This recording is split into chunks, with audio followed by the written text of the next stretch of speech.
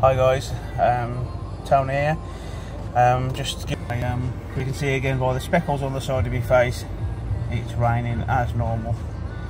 Um, as you know, um, I joined Slimming World a couple of weeks ago. Really disappointed last week with um, my first weigh-in um, with a four pound weight loss because of my size. Um, this week, I set my target this week for ten pounds, and I um, lost seven. A um, little bit disappointed I didn't reach the target that I, I set, but I'm really pleased that I um, I got a certificate, which um, is that what you get when you get your half a stone. It's got six in the light. It's got a bit wet because it's raining, and I actually won um, Slimmer of the Week, which you might just see there. Two stickers on my book already.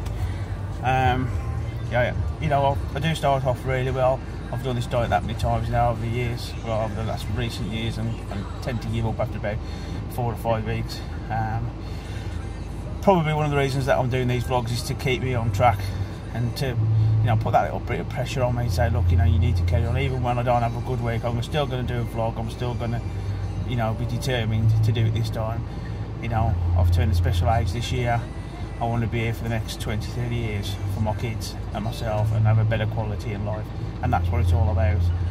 Um, you know, it's eating healthily, trying foods that I don't normally try, and, and just generally enjoying um, every day and the challenges that come along with this diet. So um, I hope you enjoy my vlogs. Um, positive comments only, uh, negative comments will be deleted. Um, so if you want to subscribe and you want to follow me in this journey, then please do so. Uh, but have a good week all.